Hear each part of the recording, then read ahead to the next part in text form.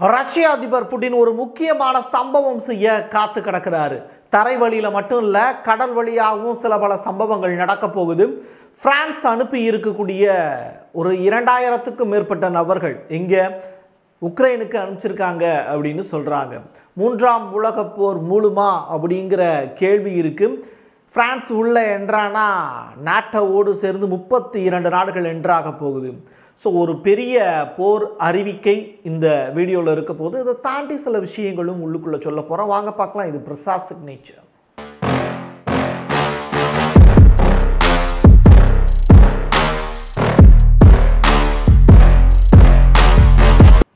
DTM two K அப்படிங்கிறது தான் இப்போது ரஷ்யாவுக்கும் உக்ரைனுக்கும் இடையில நடக்கக்கூடிய அந்த போரில் பெரிய லெவலில் பேசு பொருளாக மாறி இருக்கக்கூடிய ஒரு வார்த்தை.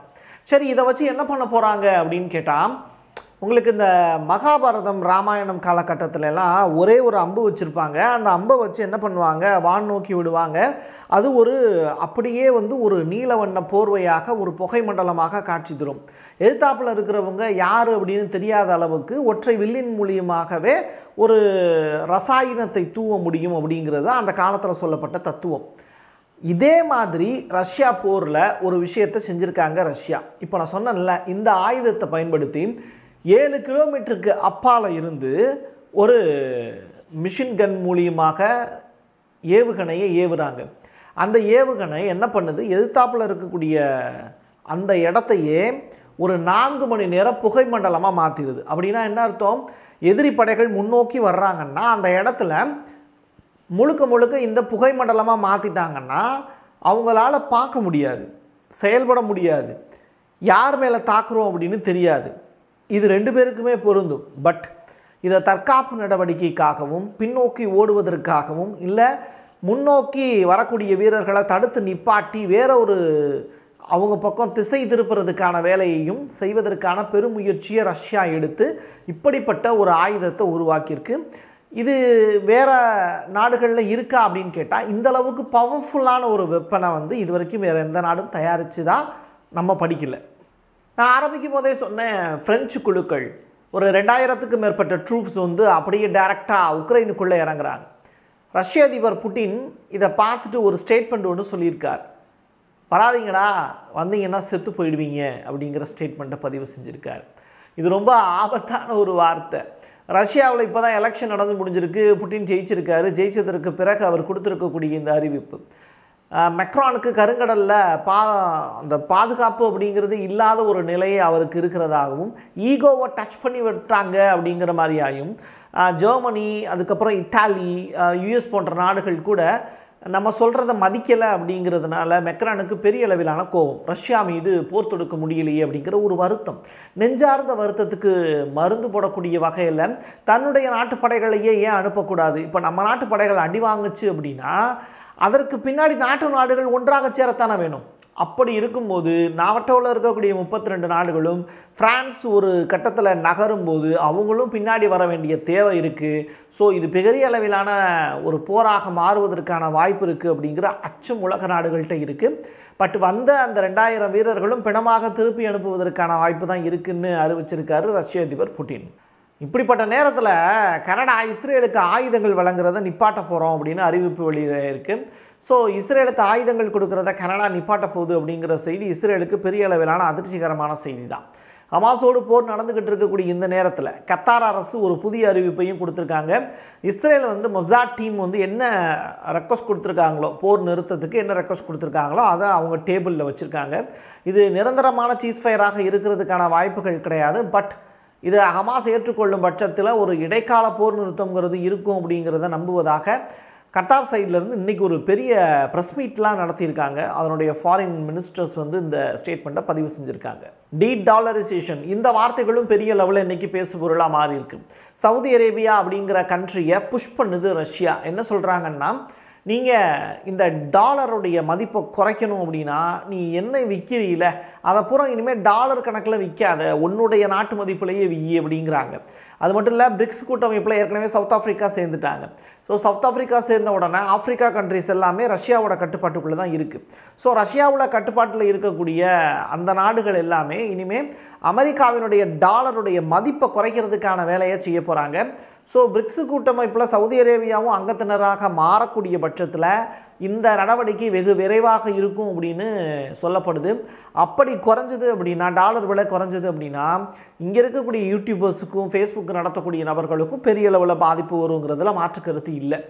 ஸோ இந்த மாதிரியான ஒரு சுச்சுவேஷனில் அமெரிக்காவினுடைய டாலரை நம்பி உலகம் முழுவதும் இருக்கக்கூடிய நபர்கள் வாழ்ந்துக்கிட்டு இருக்காங்கங்கிறதையும் சொல்ல வேண்டிய தேவை இருக்குது ஸ்டீவ் கில் அப்படிங்கிற நபர். இவர் யாருன்னா யூஎஸ் பேஸ்டில் இருக்கக்கூடிய ஒரு அப்சர்வர் அவர் என்ன எதுக்கான அப்சர்வர் அவர் எதுக்காக அப்சர்வராக இருக்காருன்னு கேட்டால் உலகம் முழுவதும் நடக்கக்கூடிய தேர்தல்களை ரொம்ப உன்னிப்பாக கவனிக்கக்கூடிய ஒரு நபர். அவர் சொல்லியிருக்காரு ரஷ்யாவில் நடந்த தேர்தல் அப்படிங்கிறது உண்மையிலேயே நியாயமானது. தொண்ணூறு சதவீதம் நெருக்கி வந்து வாக்குகள் வாங்கியிருக்காரு புட்டின் அப்படிங்கும்போது அந்த மக்கள்கிட்ட இருக்கக்கூடிய செல்வாக்கை அவர் மீண்டும் ஒரு முறை நிரூபித்திருக்கிறார் அப்படிங்கிற ஸ்டேட்மெண்ட்டை ஒரு அப்சர்வரே சொல்லியிருக்கக்கூடிய விஷயம். அதுவும் யூஎஸ் பேஸ்டில் இருக்கக்கூடிய ஒரு அப்சர்வர் சொல்லியிருக்கக்கூடிய விஷயம்.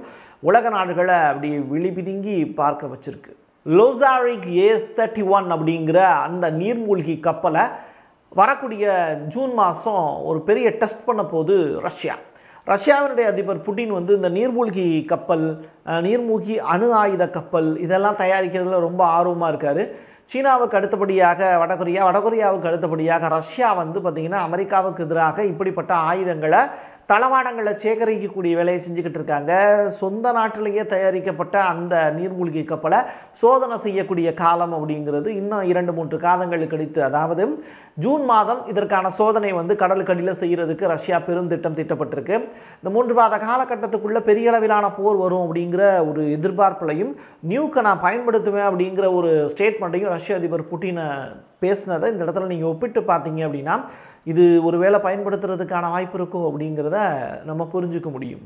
ரஷ்யாவினுடைய சிவப்பு சதுக்கம் அப்படிம்பாங்க. அந்த இடத்துல ஒரு ஓப்பன் ஸ்டேஜில் ரஷ்ய அதிபர் புட்டின் எந்த விதமான பாதுகாப்புமே இல்லாமல் மேடையில் தோன்றி மக்கள் முன்னாடி பேசியிருக்கக்கூடிய விஷயம். கிருமியாவை வந்து ரெண்டாயிரத்தி பதினாலில் அவங்க கைப்பற்றியதுக்கு பிறகு ஒரு பத்தாண்டு கால செலப்ரேஷனை வந்து இன்றைக்கி கொண்டாடியிருக்காங்க.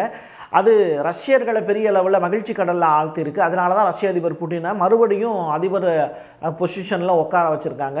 ஸோ கிருமியாவை கைப்பற்றுவதாகட்டும் அடுத்த கட்டமாக ரஷ்யாவை டெவலப் பண்ணுறதுக்காக நாடுகளை கைப்பற்றக்கூடிய வேலைகளாகட்டும் உக்ரைன் போர் வந்து நியாயமானது தான் அப்படிங்கிறத ரஷ்ய மக்களே புரிஞ்சுக்கிட்டாங்க அப்படிங்கிறதையும் இந்த சிவப்பு மேடையில் அதாவது சிவப்பு மேடை அப்படிம்பாங்க சிறப்பு சதுக்கம் அப்படிம்பாங்க அந்த இடத்துல நடந்த ஸ்பீச்சின் மூலியமாகவும் மக்களிடத்தில் இருக்கக்கூடிய ஆரவார நிகழ்வின் மூலியமாகவும் ரஷ்ய மக்களுடைய மனதில் லெனின் ஸ்டாலினுக்கு பிறகு நீங்காத இடத்தை பிடித்து விட்டார் ரஷ்ய அதிபர் புட்டின் அப்படின்னு தான் சொல்லணும். அமெரிக்காவினுடைய ஸ்போக் பர்சன் சல்லிவன் வந்து ரஷ்ய அதிபர் தேர்தல் பற்றி நீங்கள் என்ன நினைக்கிறீங்கன்னு பத்திரிகையாளர்கள் கேள்வி கேட்குறாங்க அப்போ அவர் சொல்லக்கூடிய விஷயம் இது ஒன்றும் எங்களுக்கு சஸ்ப சர்ப்ரைஸான விஷயம் ஒன்றும் கிடையாது. ரஷ்யாவில் தேர்தல் நடக்குதுன்னா ரஷ்ய அதிபர் புட்டின் தான் ஜெயிக்க போகிறாரு அப்படின்னு சொல்லிட்டு தெரிஞ்ச விஷயம் தானே அப்படின்னு சொல்லிட்டார். கீழே விழுந்தாலும் மீசை மண்ணு ஓட்டக்கூடாது அப்படின்னு நினைக்கக்கூடிய பரம்பரையை சேர்ந்தவராக இருப்பார் போல.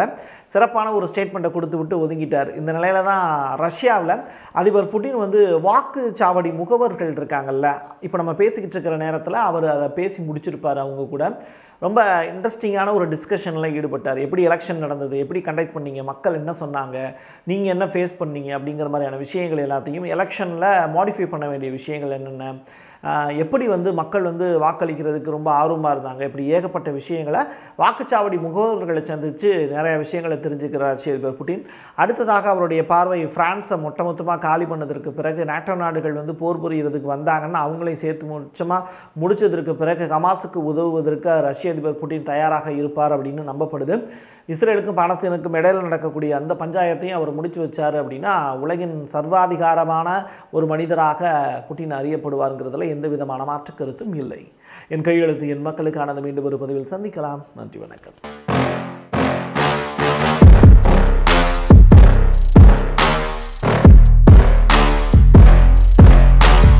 நிறைய நல்ல தரமான வீடியோக்களை பார்க்கறதுக்கும் அதே மாதிரி செய்திகளினுடைய ஆழம் சென்று தெரிஞ்சுக்கிறதுக்கும் வரலாற்றை பேசுறதுக்கும் கேட்கறதுக்கும் எல்லாத்துக்குமா இருக்கக்கூடிய பிரசாத் சிக்னேச்சர் சேனலை உடனடியாக லைக் பண்ணுங்க ஷேர் பண்ணுங்க கமெண்ட் பண்ணுங்க. மறக்காம சப்ஸ்கிரைப் பண்ணி பெல் ஐக்கானை கிளிக் பண்ணிருங்க.